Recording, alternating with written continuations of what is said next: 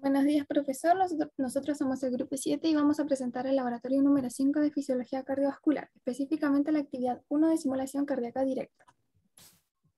Los objetivos de esta actividad son entender el periodo refractario del músculo cardíaco, comprender el proceso de estimulación eléctrica cardíaca y representar simulaciones de actividad que nos ayudan a comprender los puntos anteriormente mencionados. Para comenzar, el músculo cardíaco miocardio es el tejido muscular del corazón, encargado de bombear la sangre por el, sistema circulatorio mediante su contracción. Está compuesto por células musculares cardíacas o miocardiocitos. Este es diferente de otro tipo de músculo ya que se contrae espontáneamente, sin ningún estímulo externo, lo que se denomina autorritmicidad. Por otra parte, el nodo sinoauricular o nodo sinusal es una pequeña masa de tejido especializado ubicado en la parte superior de la aurícula derecha. Este nódulo se denomina marcapasos cardíaco natural y es una de las estructuras que compone del sistema de conducción eléctrica del corazón. En los cardiomiocitos es donde se origina el impulso eléctrico que genera un latido cardíaco.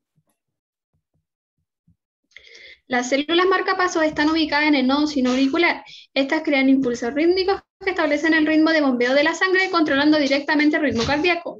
Su característica más importante es la presencia de una despolarización diastólica espontánea.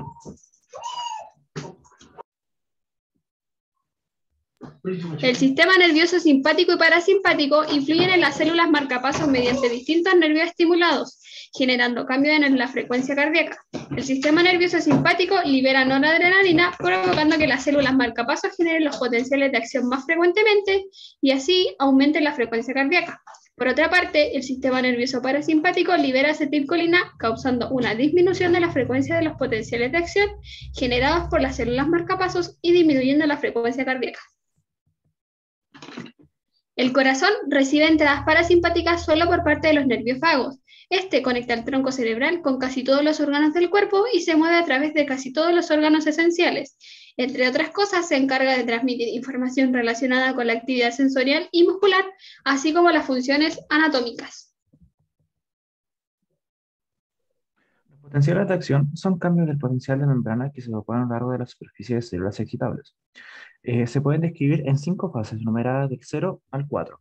En la fase 0 comienza la despolarización caracterizada por la apertura de canales de sodio dependientes de voltaje y con esto también se observa una apertura de canales lentos de, de calcio y la entrada de ion al espacio intracelular. En la fase 1 corresponde a la punta inicial donde se encuentran abiertos los canales de potasio. Esto provoca una repolarización rápida y corta. La constante entrada de calcio provoca un equilibrio en la membrana. En la fase 2 es la presencia de una meseta en el, potencial de acción que dura aproximadamente unos 0,2 segundos en el músculo auricular y 0,3 en el músculo ventricular, generando que la contracción continúe por la entrada de calcio. En la fase 3, la permeabilidad de la membrana aumenta por la apertura de canales de potasio, provocando una repolarización que lleva a la célula miocardia a un voltaje negativo.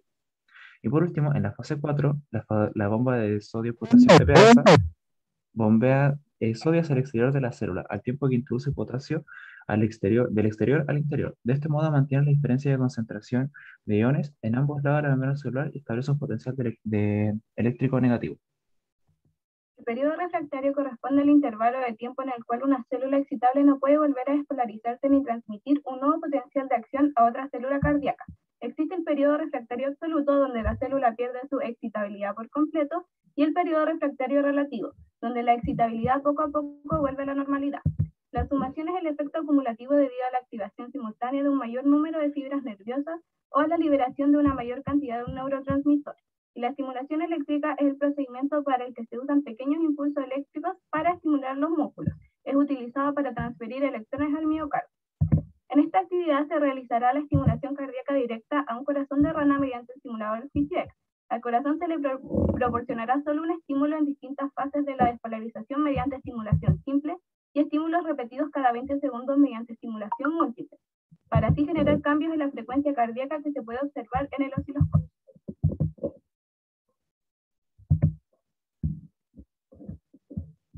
Eh, bueno, las preguntas nos decían lo siguiente. Número uno, teníamos que primero pulsar estimulación simple al principio de la contracción ventricular. ¿Observaste algún cambio en el trazado y por qué? La respuesta es que no se observó ningún cambio en el trazado, ya que el músculo cardíaco es incapaz de reaccionar a cualquier estímulo antes de aproximadamente, la mitad de la fase 3 y no responderá a un estímulo cardíaco normal ante la fase 4. Em, En la pregunta 2 debíamos pulsar de nuevo estimulación simple, pero esta vez cerca del pico de la contracción ventricular. ¿Observaste algún cambio en el trazado? Como respuesta nos observa un cambio antes del pico de la contracción ventricular. Luego, el pico, luego del pico de la contracción sí se observaría un cambio. Ahora, al pulsar de nuevo estimulación simple, eh, esta vez durante la caída de la contracción ventricular, ¿es diferente del trazado de referencia? Bueno, se observa un electrocardiograma sometido a cambios después de una sístole normal, seguido inmediatamente de una extrasístole, lo que causa una pausa compensadora y finalmente eh, vuelve a la normalidad. Después de algunos segundos tuvimos que pulsar para las, eh, pulsar para las estimulaciones. ¿Qué efectos tienen los estímulos repetidos sobre el trazado del latido cardíaco? Bueno, aquí se ve, eh, se vuelve a observar el efecto generado en la pregunta anterior, pero de forma más repetida.